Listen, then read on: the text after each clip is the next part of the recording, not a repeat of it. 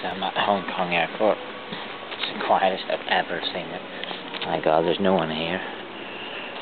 Um, don't even know if the check-in desk is open, but at least it's not Sydney. Um, in Sydney, the airport closes between 12 and 6 for some reason.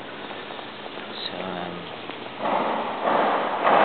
yeah, my flight's in about two and a half hours, so I'd like to think that the check-in desk would be open at some point. Better have a look. Check. Oh, I think it's up there. Yeah, I seem to remember checking it up there. So.